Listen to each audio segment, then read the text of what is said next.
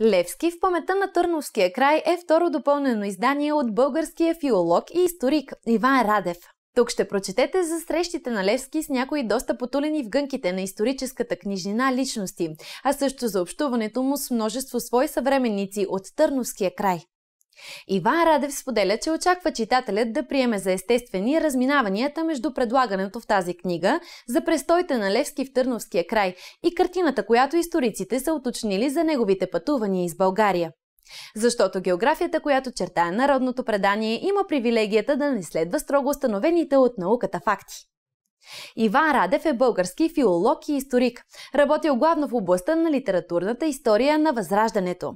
А както самият той казва, Левски в памета на Търновския край е книга съставена според заветите на летописеца, за да се знае.